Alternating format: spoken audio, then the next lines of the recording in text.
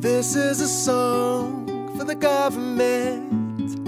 You tried for so long to enslave all men. But I'm here to state when you say your commands, I'm not following them, no.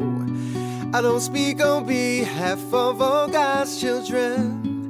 I speak to inspire we will stand stronger in the millions, battling for our freedom. So don't tell me that I do not matter.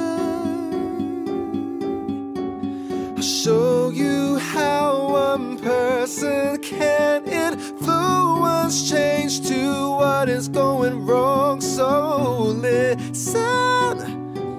Cause this really matters. If we stand as one block, then we can unlock the shackles.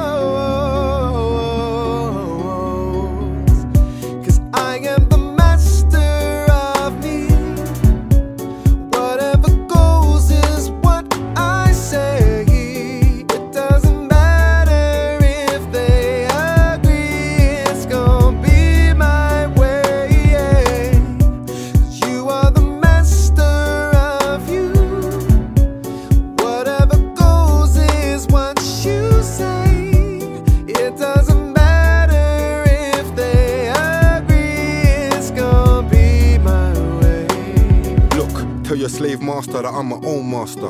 I am the master of me. Tell your slave master that I'm my own master. And you are the master of you. Tell your slave master that I'm my own master. That I am my own master. Go tell your slave master that I'm my own master. Ah, ah, ah, Cause I am powerful.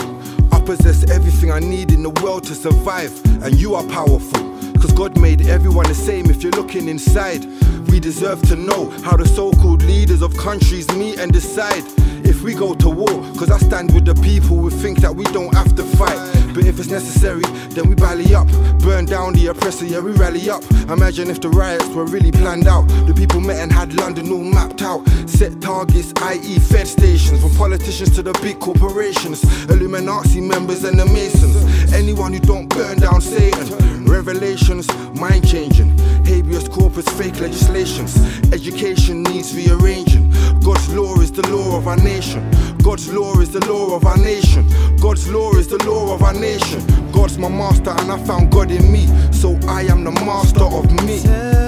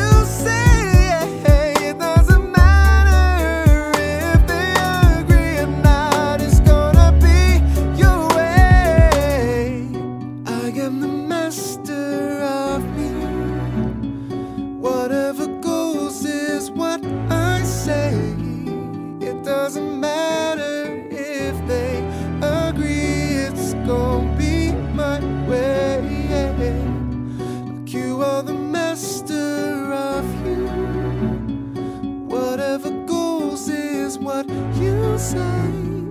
It doesn't